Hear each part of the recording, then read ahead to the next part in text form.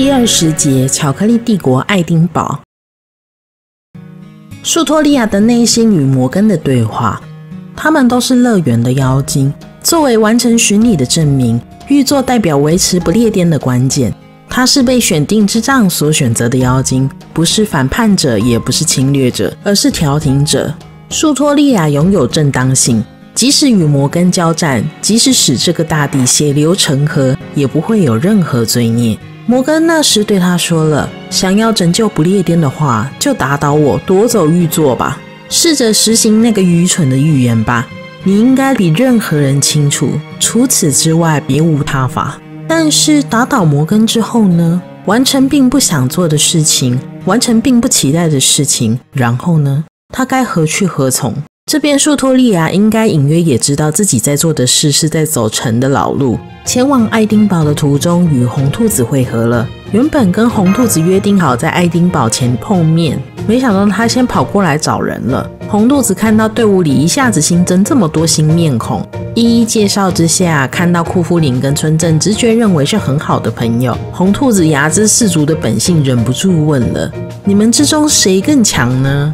哇塞，这是个核弹按钮啊！红兔子，这还用说吗？老夫用刀背就能收拾掉了，这还用问吗？问十个人，十个人都会说格林比较强嘛！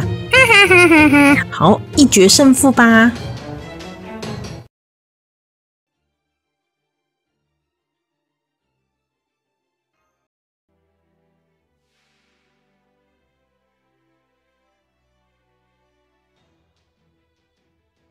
く首はもうつらねえよさて。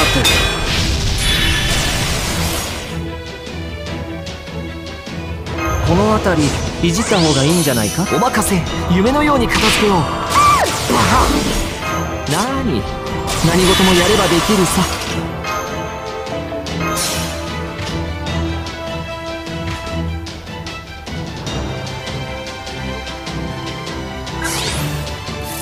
リラックスリラックス君に全チップをかけよう。頼むぞ。こうしましょう。白兵戦行きます。もうお前だ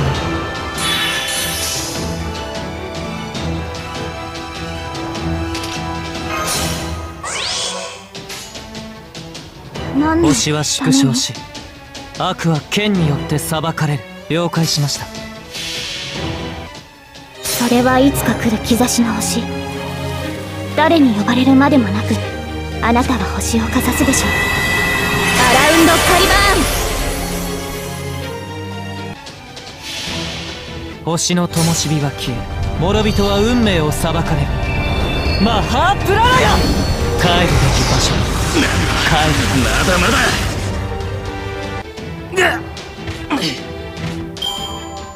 だありがとうございます皆さんのおかげです。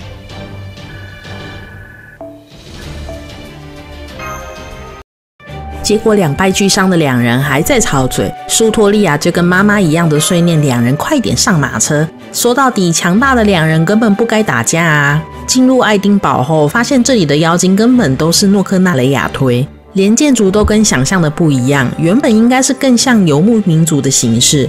由于诺克纳雷亚的治国方针。 将这里变成更为富有的都市。树托利亚认为要大摇大摆的进去找诺克纳雷亚应该不可能吧，于是很嗨的在旁边想着要如何攻进去。村镇先是阻止了他，要他等一下，接着跟丽香窃窃私语，该怎么办？你看阿尔托利亚那个猪脑袋又开始了，怎么办啦？新闻记者亲眼所见，羞羞打拳的野蛮预言之子。正当这边也在讨论各种馊主意时，不知不觉已经被爱丁堡的士兵给包围了。苏托利亚一副果然如此的认为，就算城市风格再怎么严律正风，果然这就是诺克纳雷亚的做法嘛。于是也毫不客气的想正攻进去。没想到爱丁堡的士兵并没有要打的意思，诺克纳雷亚女王正在大圣堂等他们。红兔子想起了他之前有先预约好爱丁堡的会面，这不是很能干吗？赤兔。于是树托利亚就一脸尴尬的说：“啊，那就接受诺克纳雷亚的招待吧。”结果接获通报的诺克纳雷亚也是惊讶，树托利亚竟然没有正面攻进来，急急忙忙的将准备好的小队从教堂后面撤走，留下自己会客。你们两个真不愧是损友啊，也太了解对方。会面的双方开始闲话家常起来。哎，那个你们去奥克尼怎么不先讲啊？那边我地盘呢，要敲钟不是先该知会我一声吗？于是贤者格林就跳出来交涉。再怎么说，格林也是看守那座钟的人。不过这时大伙意会到，这不就是梅芙对上库夫林？本来蒂香还想叫库夫林先躲起来，不料诺克纳雷亚根本没感觉。库夫林也觉得真是清爽，两人在这里可是一清二白，完全没有关系。于是回正题。被敲响的奥克尼终身代表王之氏族承认预言之子，所以今早就收到摩根的最后通牒，要诺克纳雷亚抹杀预言之子。如果没能完成，摩根就会撕毁跟前代王的条约。不过，对于诺克纳雷亚，正是来个开战的理由。条约的内容他并不想透露，只要让预言之子他们知道这是开战的意思。既然苏托利亚都完成了他先前开的最低条件，甚至还更之上，那么结盟就是板上钉钉的事了。正当众人都很高兴结盟这么轻易就谈成时，苏托利亚则是表示别太天真了，那个蜂蜜暴发户才不是这么简单的给出支援。诺克纳雷亚也承认结盟可以，但是王是由他来担任。也就是指挥权在他手上，必须服从他。作为战力，只能有妖精，像是人类组成的圆桌军，就去他的巧克力工厂当工蜂吧。反正上战场也是当炮灰。舒托利亚这一方当然不服了，既然不服就战，赌上下一任不列颠女王各自的骄傲、自身的美丽而战。洛克纳雷亚以前代女王之名发誓会以妖精公正的决胜负。赢了的人除了可以拿到结盟指挥权以外，附加奖是可以迎娶一帮魔术师。马修大喊什么？素托利亚一脸不明所以，但还是赌了。不过当然不是普通的战斗，这里既然是爱丁堡，全国甜品流通的主要城市，那么当然要用爱丁堡传统的竞赛来分出胜负，也就是传说中的迈步竞赛。迈步竞赛是自制的巧克力最为美味的人就是女王的一种对决。于是，巧克力妖精担任裁判与评审，先对预言之子一行人判定是否有制作巧克力的资格。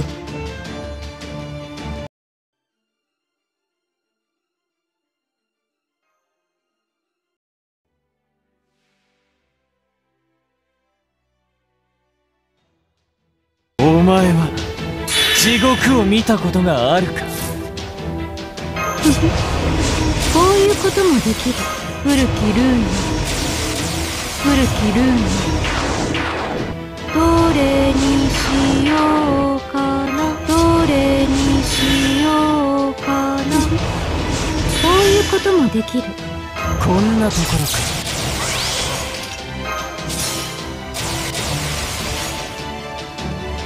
慈悲などいらそれで残酷なことだ。我が行くは温州の彼方。アンフェル・シャトー・ディフ。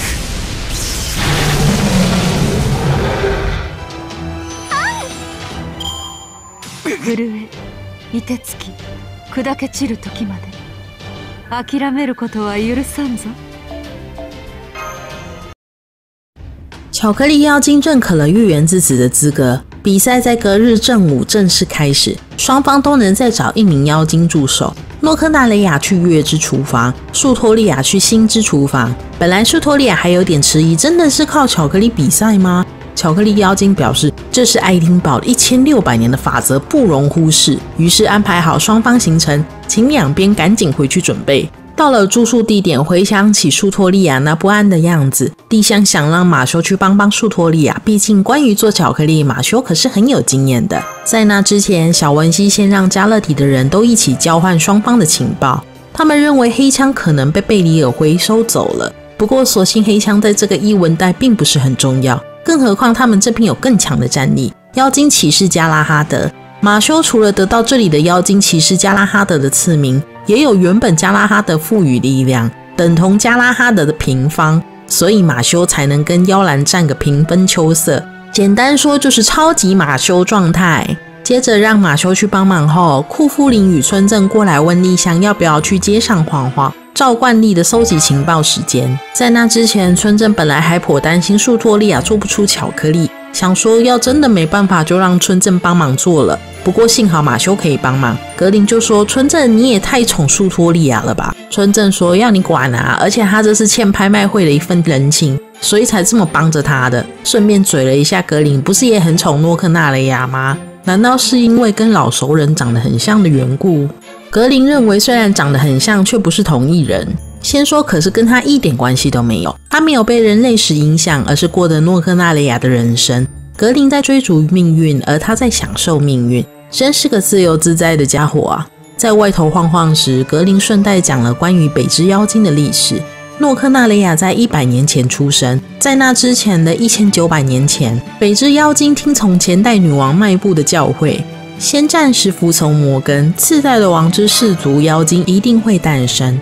于是诺克纳雷亚诞生后，花了一百年整治军队与爱丁堡，成了与摩根对峙的北方势力。在爱因塞尔的预言出现后，可不是只有摩根觉得如芒刺在背，诺克纳雷亚也是觉得很焦急吧。毕竟准备了一百年，却突然冒出个预言，会有其他人来抢他的王座。不过诺克纳雷亚会跟舒托利亚这么对盘，应该是他们有同样关系的缘故。女王之子与预言之子，一直以来他们身边都没有能够互相谩骂或竞争的对手。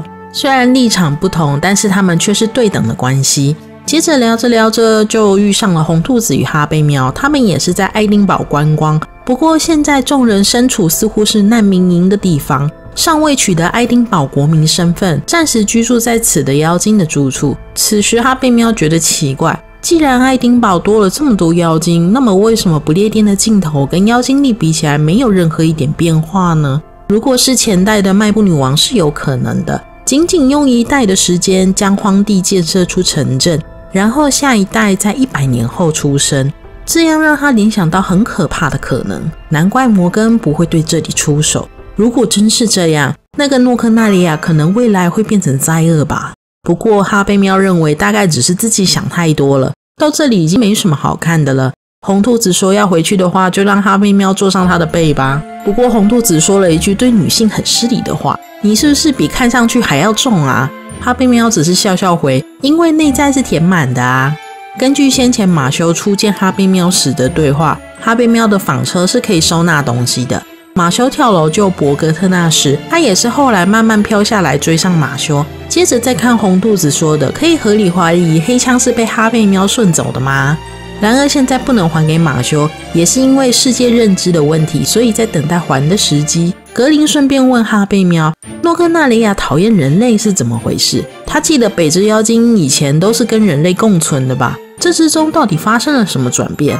当时的夏日战争，大家都知道，大家所知道的是离胜利一步之距的迈布女王，最后接受了救世主城的调停，不再屠杀南方妖精，成了王之氏族。事实上，其实有点偏差，毕竟都已经差一点赢了，怎么会有放弃的理由呢？实际上，在最后一步，迈布女王错失了胜机，因为被其左右手也是丈夫的人类战士背叛了。当然，臣是不会放过这个机会的，所以趁这个缝隙狂打压迈布女王，逼她答应不再攻打不列颠，与其他氏族达成和平条约。到了晚上，第一个敲门造访丽香的是马修。马修想来询问关于巧克力造型的想法。看来苏托利亚是陷入激战的样子。考量到他还是新手，丽香给了最经典造型的点子。马修点头称是，非常同意的，往厨房跑回去了。下一个敲门的是每次都爱鬼吼鬼叫的皮克特妖精，他叫做艾肯，是诺克纳雷亚女王忠实的部下。其实是女王正处于休息时间，想找一帮的魔术师聊天，于是丽香就被请了过去。艾肯还怕丽香太紧张，说了一些让女王不会生气的应对作为参考。于是见到诺克纳雷亚后闲聊几句，他便想问丽香关于犯人类史的事情。虽然他本身没什么兴趣，但是毕竟是政治上的事。作为打倒摩根后的对策，也是需要知道一些的。几乎说了将近一小时，诺克纳利亚对于外面还有这么辽阔的世界感到兴奋，似乎是感到干劲十足。然而丽香忍住了吐槽的心里话。这时诺克纳利亚察觉对方是不是想说关于另一个世界线他的事情。不过诺克纳雷亚忍住自己的好奇心，要丽香不要说出来，因为现在听到的话，他一定会痛苦的满地打滚。果然很自恋啊！不过关于一点，他还是很想知道，那个世界线的他最后没有被恋人背叛，一直到最后都是个冷酷的女王吗？地香点头了，还说先不管善恶，那样生活的梅芙实在非常帅气。听完这个结局的诺克纳利亚可是心情大好起来。不过最后听到还是被人类用奶酪丢死了，觉得不可置信，又觉得这真是命运，果然跟人类还是有所牵扯呢。接着，诺克纳雷亚就说出前代女王迈布真正的死因，她是因为失去恋人的痛楚，变得无法战斗，于是被城打倒了。迈布太过相信人类，把他们当作跟自己一样的生物爱过头了。他与最爱的人类战士一起赴战场，虽然对方也有回应他，但是最后还是死了。在最后的最后，众人欢呼胜利。迈布转身之时，最爱的战士在品味迈布的胜利，咽下了最后一口气。这也是理所当然的吧？人类不可能跟上身为哑铃的妖精，寿命尽了先走一步，所以在一起的约定没能遵守。所谓的背叛就是这么一回事。迈布那时知道了自己的愚蠢，也知道那个人类战士有多爱自己。不过这些往事云烟也随着进入女王力而变成了征服不列颠的野心。迈布女王在建立爱丁堡之后退隐了，并告知会在一百年后再次诞生王之氏族。也就是现在的诺克纳雷亚。现在的他讨厌人类，是因为人类在战场上派不上用场。柔弱的人类还是在他的巧克力工厂享用满满的福利待遇，工作到死吧。我操，这是什么天然傲娇吗？不过丽香看他这么有精神，就放心了，并回呛：人类可没这么脆弱哦。休息的时间也差不多结束了，诺克纳雷亚要继续回去彻夜制作巧克力工程。结果回到房间要睡觉时，又有人敲门造访了。这次又是谁？被敲门声所骗的丽香，其实是从窗户华丽降落的奥伯龙视野。奥伯龙除了来这里了解丽香他们的情况与处境，顺便跟丽香聊聊往后的行程，也聊起了关于树托利亚的事。从树托利亚一路走来身上的变化看来，乐园妖精的巡礼，与其说树托利亚在成长，不如说敲钟这事像是束缚器解开，乐园妖精是压抑力量诞生的。奥伯龙尊重丽香的意愿，纵使帮忙预言制止这件事对犯人类史而言只是多绕点路。奥伯龙的确很关心树托利亚，这点倒是让丽香偷偷的察觉了。在奥伯龙要离开前，还问了树托利亚会是奥伯龙的提坦尼亚吗？奥伯龙给的答案很微妙，妖精王妃只是一般故事的便利配角，作为故事舞台推动的角色，谁也不会特别去考量她的幸福，所以认为她的提坦尼亚是不会存在于现实的。隔日正午，迈步竞赛开始了。比赛的场地只有舞台席能够近距离看到两边厨房的动作，一楼跟二楼的位置只能透过投放荧幕观看。附带一提，舞台席位置的价位是二楼的两倍。只是良心价的小恶魔卡莲。月之厨房的诺克纳雷亚当然是照常发挥，与其说在做巧克力，根本是在创作艺术。星之厨房这边，马修是万能帮手，做了非常漂亮的巧克力蛋糕。然后树托利亚一个说要加秘方，卡莲看了直说你是笨蛋吗？接着当做没事的继续主持节目。加勒迪这边看完只有无言，以及格林说要趁现在认输逃走吗？还有村镇的求生欲极强发言，我也不知道在说啥。总之造型创新也是突破点。比赛的时间到了，诺克大利亚交出的是用特殊涂料涂的十九层高的爱丁堡蛋糕。这的确可以称之为艺术，光是看起来一定味道也很好。而预言之子这边交出的是让众人瞠目结舌的作品。看过那个宏伟的爱丁堡蛋糕，就会觉得，哎，就这样的作品，虽然简单，但是却是以星星作为形状，突破了迈步竞赛一千九百年的创新作品。在这里的妖精从未想过用星星这个造型作为发想，作为切合情人节主题，也符合北之妖精流传的如是最强的象征。卡莲甚至给出绝佳评论，居然把新实体化的创新，你是天才吗？这让在场的妖精都热血沸腾了。甚至苏托利亚还在卡莲的访问下给出了注入新意也不是什么难事的金句。于是这场胜利是在观众的呼声下，堂堂正正的取得了胜利。诺克纳利亚也服输，甚至还想要买下新型巧克力的点子版权。加勒迪一方觉得奇怪，难道至今都没有人想出过这个点子？虽然诺克纳雷亚的气场是冒出星星，不过自己看不到自己的气场吧。再来就是这类的创意的确是人类比较擅长，或者说托文明的福。多数是妖精的爱丁堡恐怕并没有这方面文明的延伸造诣。格林虽然觉得很瞎，但是这大概就是所谓的创新的力量吧。不料新型的巧克力像是有生命似的开始扑通跳动。难道说新型巧克力也是能成精的吗？诺克纳雷亚有点不安的问起舒托利亚。这巧克力到底加了啥？当树托利亚回答这里所有的材料，对，全部。卡莲说他刚刚看到了树托利亚用奇怪的术式把全部的材料塞进去，结果现在演变成新的生命了。那个巧克力便开始发射奇怪的光束，把周围观众一个个射倒了。为了维护预言之子的名誉，这下子得把那个不该存在于这个世界上的生命给消灭。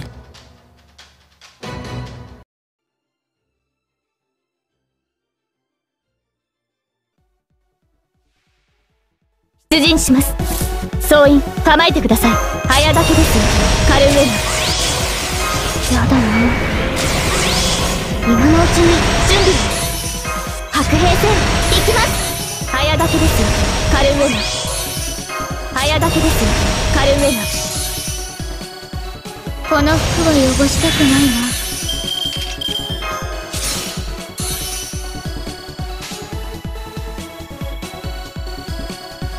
やります。敵。生命協会。復唱する。ここでまっすぐ。君はもう私のものだ。血も肉もこぼさない。深い水底に連れて行こう。ここから砕く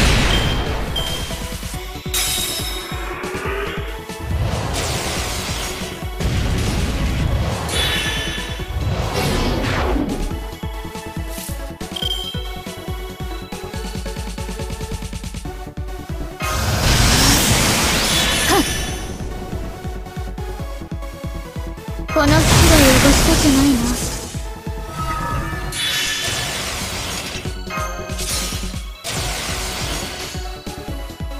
いいでしょう。下がって入れ抜かなさい飛びなさい。彼方の空へ。お前はたとえ残骸であろうとも。あこれでそこです。受けるがいい私が竜の姿なら丸ごと食べているところよ最後の最後で運が良かったのね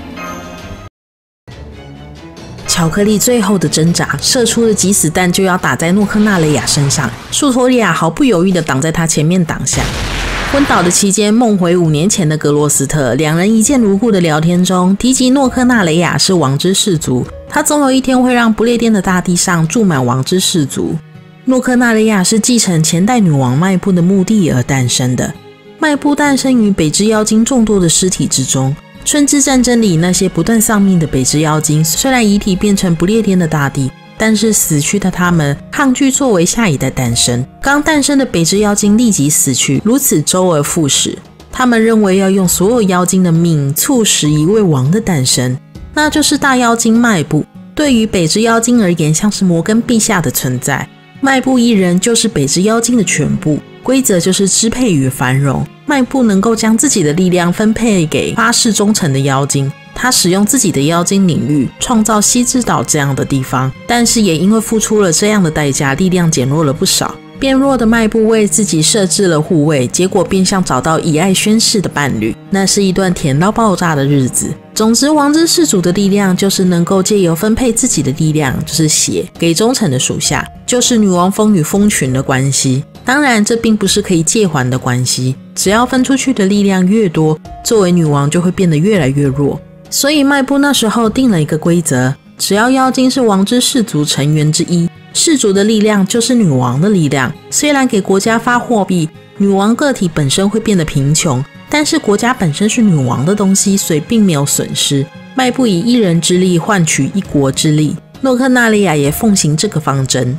接着，诺克纳雷亚捏了树托利亚一把。他刚才在大厅听到树托利亚向谁道歉了吧？因为自己很弱，所以道歉云云之类的。这点他很生气。说到底，弱小是一种错误吗？会造成别人损失吗？生气的对象应该是自己吧？到底有什么理由需要道歉？更何况诺克纳雷亚直觉认定树托亚根本是扮猪吃老虎，根基其实是火山等级，现在还只能装小猫骗骗人，骨子里根本是巨龙的家伙。诺克纳雷亚诞生在众所期待的环境之中，所以他对于那种天生与众不同的存在也深入骨髓里的理解。接着提到了诺克纳雷亚的梦想。原本树托利亚以为会是什么征服世界的野望，结果他说了一个再普通不过的愿望：当上女王之后要大谈恋爱一次。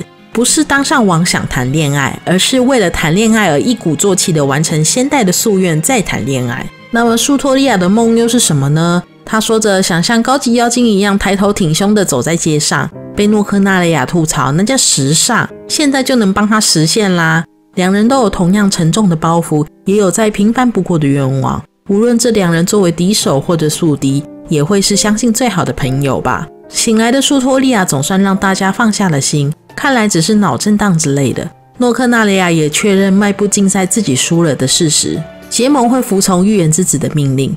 从预言之子抵达爱丁堡的时候，女王应该会召集不列颠各地的战力回卡梅洛。他们这边也不能松懈，要舒托利亚赶紧回牛津敲响钟，并且把联军通通带来他的野营地。届时他会同步推进卡梅洛。虽然先前说不想跟圆桌军结盟，但是之前与丽香的谈话让他对人类抱有一些期待了。涂有莫斯毒的武器，他们妖精也不擅长使用，不如就交给人类吧。毕竟他也想相信丽香所说的，人类并没有那么脆弱。立即收拾行李回牛津的路途上，甚至还没离开诺克纳雷亚的领地，就遭遇了奇怪的生物袭击。那看上去不像一般的莫斯。ダヴィンチちゃん参上今日も元気に始めちゃおう急な仕事任せてああとても楽しかったともキラキラしてる さて妖精が何だってんだ？やることは変わらねえよ。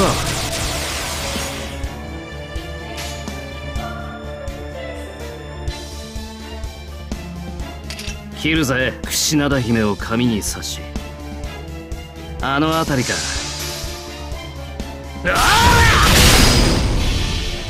神髄解明。完成理念収束。鍛造技法臨界これが俺のつむかり村正だ！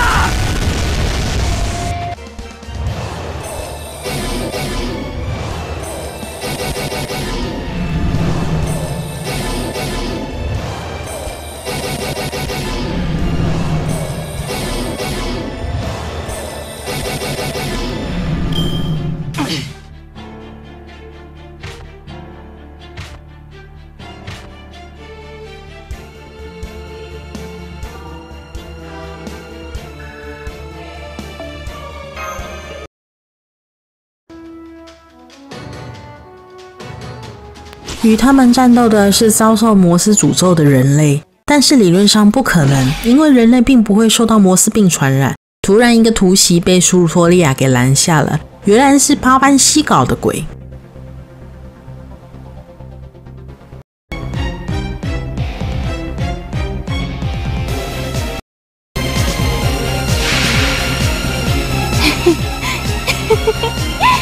ほらこっち来なさいよ 私を殺してみなさいよ。ほらほら。みんなついてきて。白兵戦行きます。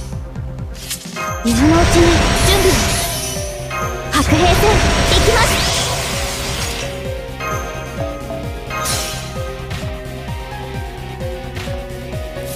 どれにしようか古きルーンきルーンどれにしようかな。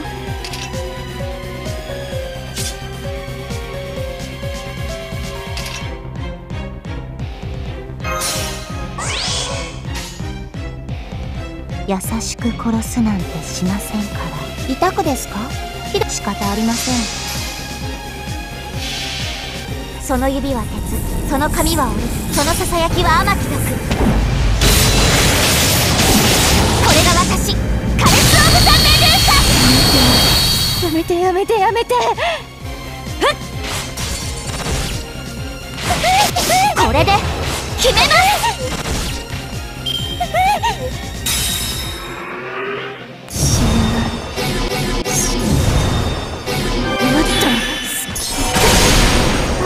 きお前が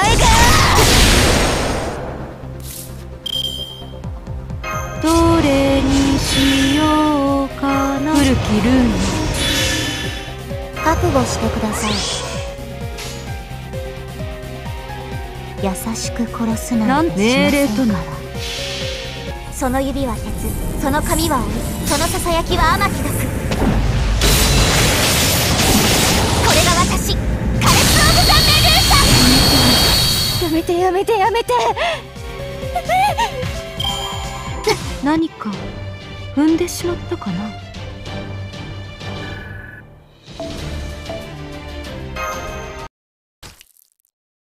理所当然的脱去 Gift 的八班西是赢不了预言之子的，所以他将目标放在丽香身上，将 Garden 拿了出来。当丽香的目光放在 Garden 时，就会被吸进去。 而意识到危险的舒托利亚在丽香被吸进去的同时，抓住丽香，也一起被吸了进去。巴班西得意嘲笑时，马修想把那个壶给夺过来，然而巴班西才不会笨到与那个妖精骑士加拉哈德交手，一开合镜就逃走了，并扬言会好好玩弄他们，只留下在原地哭喊的马修。下回待续。